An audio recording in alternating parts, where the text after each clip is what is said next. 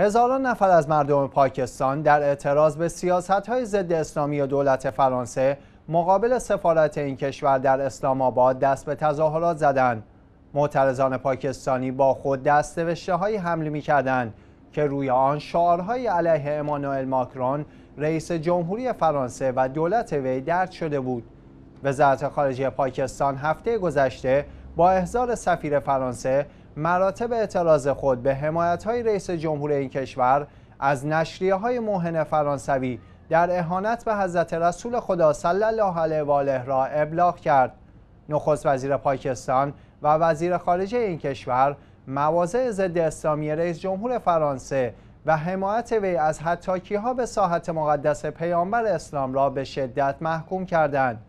امانوئل مکرون رئیس جمهور فرانسه اخیرا با اتخاذ مواضع اسلام ستیزانه بر حمایت خود از نشریه هایی که کاریکاتورهای موهن علیه مقدسات اسلامی و پیامبر منتشر کردن گفت که مانع این کار آنها نخواهد شد.